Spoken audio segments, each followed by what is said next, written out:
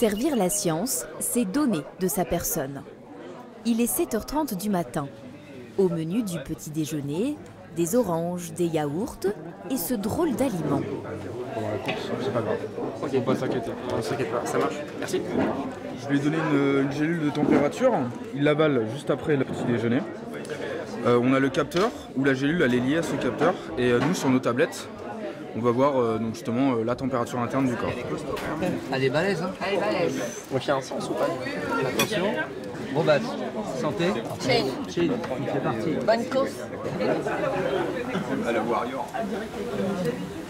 Ça va, c'est passé C'est passé, ça passe bien. C'est parti pour un grand voyage. Ce mini thermomètre va voyager dans leur système digestif pendant les 156 km de course. En cas d'expulsion malencontreuse de la pilule, pas d'inquiétude. Les scientifiques ont pensé à tout. Bon, au cas où, hein, on a des réserves. C'est la deuxième. La température interne du corps, un paramètre crucial à mesurer, car ces variations de chaleur ou de froid dans l'organisme sont souvent cause d'abandon chez les sportifs. Si on augmente trop en température, à un moment le corps de toute façon il va lâcher. Si on va au-dessus de 40, euh, bah, c'est terminé. Si on va en dessous de sur les 135, 34, là c'est très mauvais pour le corps. Gélule pour la température corporelle, capteur de mouvement, capteur pour la glycémie. Participer à cette aventure, c'est accepter de devenir un cobaye pour servir la science. Test de vigilance et de motivation, échographie cardiaque, analyse du sang, test de force musculaire. Pour la première fois, des trailers seront examinés sous toutes les coutures par 16 équipes de laboratoires français et internationaux. Une expérience qui vise à recueillir des données les plus précises possibles pendant toute la durée de la course et comprendre l'impact de ce sport sur la santé. Les athlètes aujourd'hui, j'en vois qui font un seul ultra par an. Pourquoi pas? D'autres qui en font un tous les week-ends.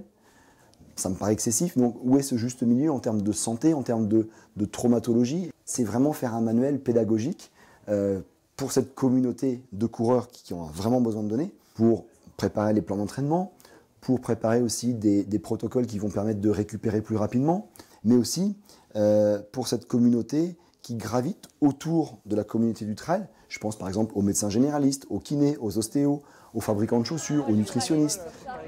Au-delà du monde sportif, ces recherches auront des champs d'application beaucoup plus vastes. Les études sur le sommeil, l'équilibre, la déshydratation devraient permettre d'en savoir plus sur les mécanismes à l'œuvre dans le corps humain, y compris pour la population générale. Allez, on est en train de dérouler la banderole, s'il vous plaît. Il est 14h20, c'est le moment tant attendu. Dans 10 minutes, Cathy, Frédéric et leur fils Mathieu feront partie des premiers coureurs à participer à un trail scientifique. Ah, c'est chouette d'être avec Benoît là. Ouais, c'est super. Merci à lui encore. Il doit avoir beaucoup d'émotions, je pense. aussi. Ouais, ouais, mais il attendait Ouais, ouais. ce moment. Chaque tour, chaque tour, c'est une nouvelle course. Ok Fais pas d'erreur. Fais attention à toi. On y va à Je 3. t'aime. On va au bout à 3.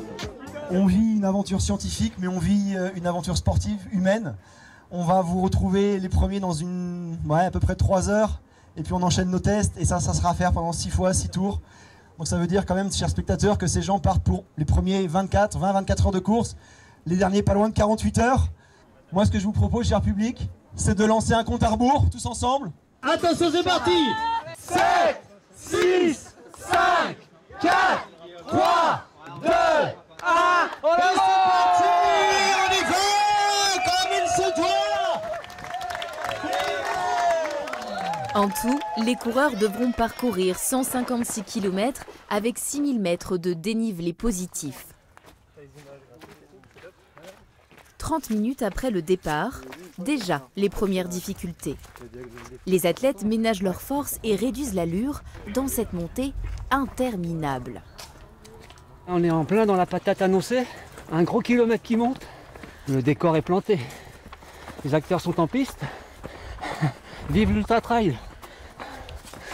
Doucement mais sûrement, c'est la stratégie du couple. Surtout pour Cathy, qui participe à sa première course depuis l'opération de sa hernie discale. Je gère, je préserve la partie douloureuse. Enfin, là ça va, mais mon dos. Donc euh, Tranquille.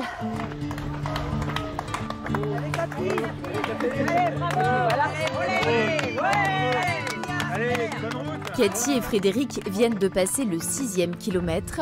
Il leur en reste 150.